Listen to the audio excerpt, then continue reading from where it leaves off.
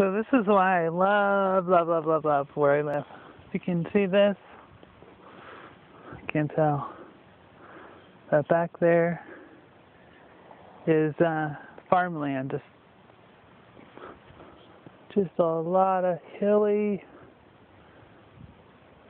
farmland, and I'm not basically up here on top of a hill.